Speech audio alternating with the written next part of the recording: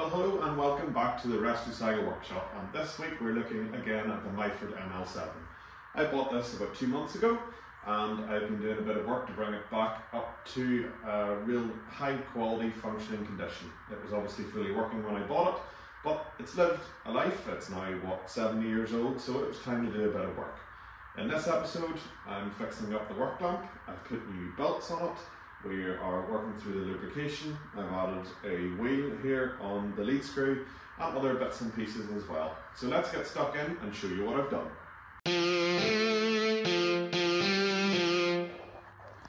Okay, so this is the uh, lamp that came off the back of the lathe.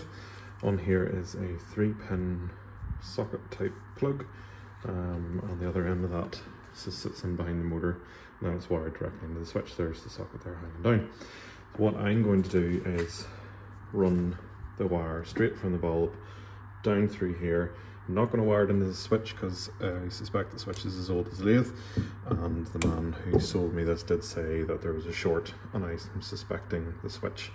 So I'm going to wire the bulb straight down, leave this long, bolt the lamp back on the lathe and then connect the wire into the switch which then means whenever the whole thing is plugged into the wall, the lamp will always be on. And then that way, at night, whenever I leave the garage, I'll know the lamp is on, and that'll mean that I won't forget to turn the whole thing off because of ancient wiring, I don't want to give any risk to fire or anything like that. So the lamp is always going to be on.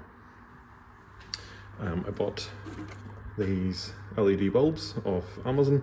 They were pretty cheap. I think it's 20 watts. Yep, which apparently is equivalent of 150 to 200 watt bulb, so nice and bright. And that will fit in here. And the cheapest cable that I could find, I bought this stuff off eBay, but I didn't buy enough of it.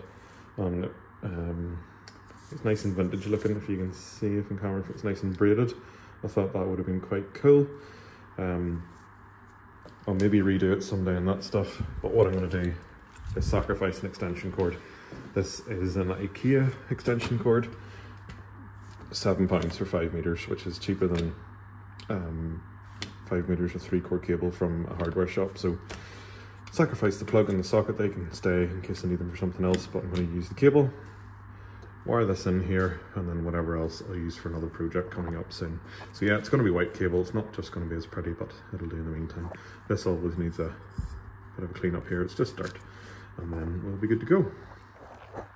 Purely for logistics, I have screwed the lamp temporarily onto my workbench. I've removed the old brown wire, which is looking slightly worse for wear. Um, there was no earth attached to the metalwork of the lamp itself, so I'm just trying to figure out how to do that discreetly. So that's out. I have fed the wire into here. So that's my free end that's going to go to the switch right here. And it's attached in here, now I'm just running it up through the lamp up to the bulb end and then I'll work out how to put the earth in. And I'm very glad to say it works. So now when I switch it on at the wall, it's directly wired through the power feed to the motor straight into the lamp. The little switch down here does not work, that's okay. Um, the white wire actually doesn't look too bad on there. Brown maybe would have been nicer, but that's fine. And I've checked the lathe and it's still working as well. So big improvement and I'm sure you'll agree that's nice bright light.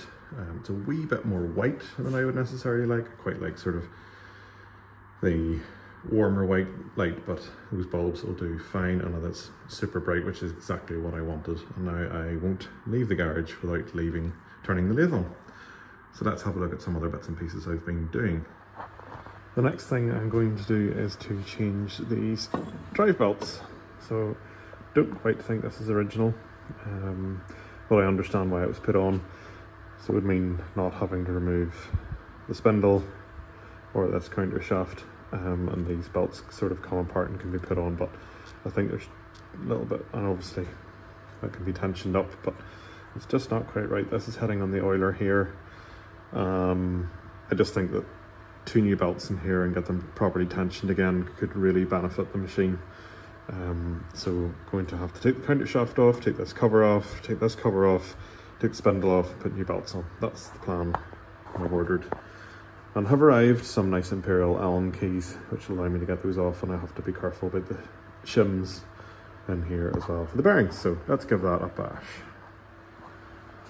Okay so that's not spinning too badly. It's probably a bit more firm than I would have liked but um, it does spin quite smooth. Obviously have the covers off that took a bit of a struggle.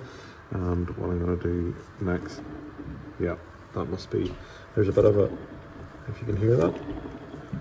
I suspect the bearings in the motor have seen better days. So that's probably going to be a, a, another project to get that in that motor probably rebuilt because I quite like its original. But you can hear the motor bearings are pretty knackered there but that's okay. So I'm glad the noise is coming from the motor rather than the lathe um, I'm going to run the motor actually here and test it out and I'll let you hear that with obviously no load and then what we're going to have to do is work out how to get this shaft off to get the drive belt over this. As you can hear the motor is a bit noisy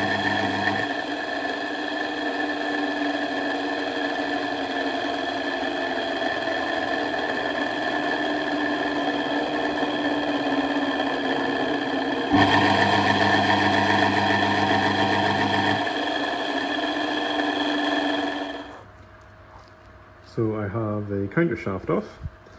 I have my new belt from Myford here and I'm going to pop that in here, put the counter shaft back on, pulleys back on, secure that all up and then I'll be ready to tackle lifting the spindle off once that's on and I'll put the new belt on the motor. Jumping forwards a bit further, I have the spindle out. I have, there's the two um, bearing caps and I have the spacers marked. Try to fit it on there, but the um, belt doesn't quite fit round, so I'm going to have to move this down a wee bit, and that can always be adjusted out afterwards. Hey presto, two belts on, and I have followed the ML7 owner's manual here to adjust the tension on this correctly, and the attention here correctly as well, so that's great. Really happy, I've given it a test run, I'll show you it all at the end, so let's get the safety guards back on again and see what the next job is from there. These pair arrived in the post today. Um, two little oilers for the top of the lathe. Now these are slightly different to each other, um, but what I'm hoping to do is to make two good ones out of four slightly dodgy ones. Um, if we look over here at the lathe, the plastics have seen better days. I think the plastic in this one is cracked, um, but if I can make, and this one here is missing a few bits, so if I can make two decent ones out of four okay ones, then I think we'll be on to a winner. So let's get these two off, get them over in the bench and confirm what we've bought and see if I can make it all work. Alas, I chickened out. I did try and take the other ones apart and incorporate these two, but they're quite different inside, so I've just opted to put these in two whole ones on as well, as they're completely leak proof. I tested them before they go on, and it's quite easy to adjust the drip rate, and they appear to be holding oil as well. Um, maybe this one less so than this one, but um, they've now been sitting on there for about a week or so as I've made this video in stages, and they're holding by and large, so quite pleased with that. Um, I think they're in keeping with the whole lathe used, good condition, not perfect. Um, so maybe we'll wrap that video up here. Bonus content for those of you who have stayed on. Um, one other little modification that you may have noticed here is this lead screw hand wheel and I got this obviously in the Imperial um, because this machine is Imperial. Um, hand wheel and the little pointer I got off eBay um, used. it could have bought a new one, but I thought it would be, again, in keeping with the machine. And I have bought this really with the income of this channel. So um, that is a good example of why it's good to hit the subscribe, like, comment, and build the channel because it allows me to do things like this. And I really appreciate your support, just even for that reason alone. Thanks very much for watching the video. I hope you enjoyed it. It was a bit all over the place, but I've shot this video in a couple of segments across a space of time, but I've joined them all together and hopefully you enjoyed that, seeing the work I've done.